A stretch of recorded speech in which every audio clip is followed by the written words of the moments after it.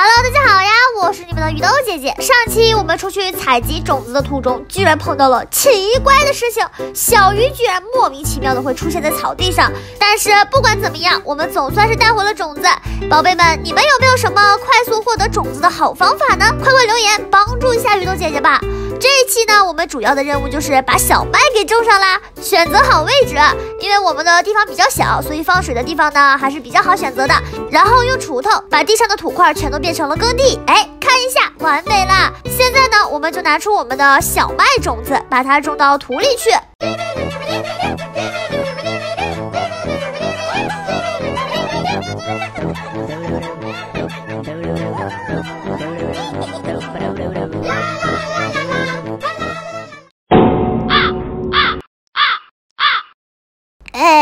好尴尬呀，种子没有了。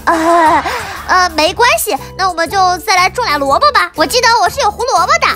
哎，但是这个胡萝卜怎么种啊？师傅没教我呀，师傅。哪个当师傅的不得留一手啊？哎呀，师傅，你倒是留点重要的，你留一手你就留了一个种萝卜。用你管，我爱吃。好吧，好吧，那我自己看看怎么种好了。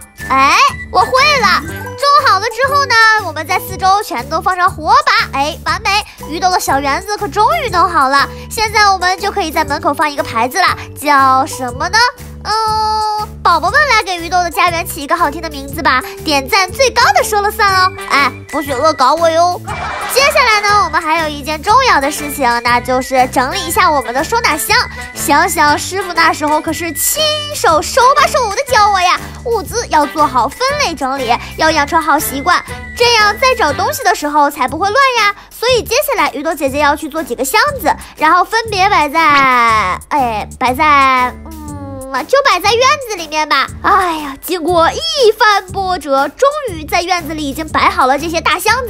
接下来要做的就是在木牌上写好分类啦。第一个我们就放工具，还有武器。第二个我们就来放挖到的岩石和矿物吧。第三个我们来放食物和种子。啊哈，终于整理好了，是不是整洁了很多呢？啊哈，终于可以美美的睡上一觉了。晚安啦。